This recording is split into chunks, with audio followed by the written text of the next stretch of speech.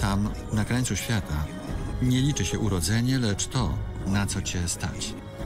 Oby w Jerozolimie znalazło się miejsce dla tak rzadkiego zjawiska, jakim jest rycerz bez skazy. Nadeszła godzina próby. Na wschodzie jedną osobę od drugiej dzieli tylko blask światła. Wielkie, epickie widowisko Ridleya Scotta. Orlando Bloom. Mega hit. Królestwo Niebieskie. W poniedziałek o 20.00.